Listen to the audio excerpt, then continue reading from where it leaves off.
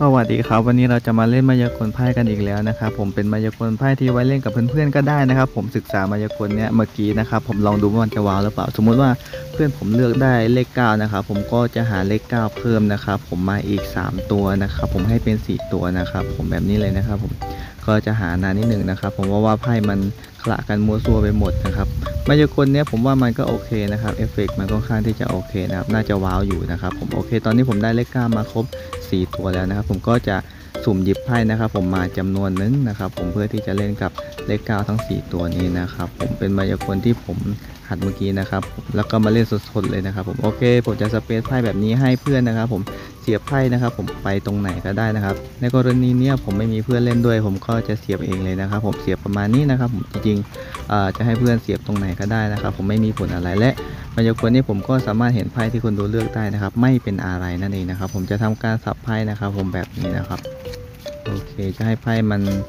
ละกันแบบนี้ก่อนนะครับตามภาษานักมายากลนั่นแหละครับท่านผู้ชม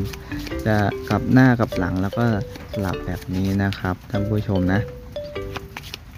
จนกว่าผมจะพอใจเลยแล้วกันนะครับ โอเคนะครับ ผมก็จะประมาณนี้แล้วผมก็จะ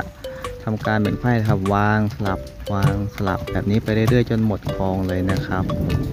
ผมจะทำทั้งหมด 3 รอบนะครับ อันนี้รอบแรกนะครับ ผมเป็นทีละใบนะครับ ผมโอเค ต่อไปรอบที่ 2 ผมจะให้เพื่อนผมบอกนะครับ ว่าให้ผมวางหรือสลับ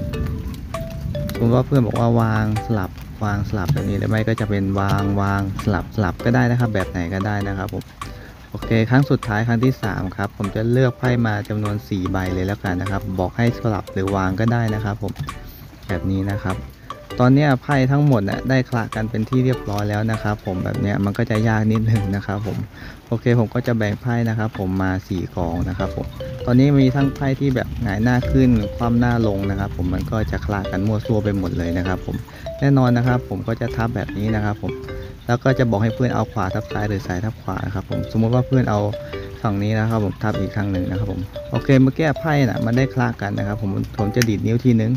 แน่นอนนะครับ ผมไพ่ที่คละกันมันจะกลับมาเรียงกันหมดยกเว้นเลข9ที่เพื่อนผมเลือกนั่นเองนะครับผมดูสิครับฝากกดไลค์กดแชร์กดติดตามเพื่อเป็นกำลังใจให้ผมด้วยนะครับ ดูมายากลให้สนุกนะครับ